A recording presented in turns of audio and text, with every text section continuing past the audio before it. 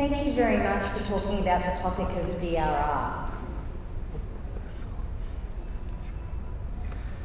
There are many other major groups who are adopting inclusive policies.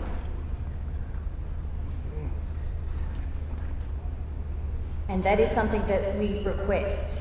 We would like to make sure that associations, whether they conduct training, workshops, or any sort of edu education and information sharing, are also inclusive. Thank you.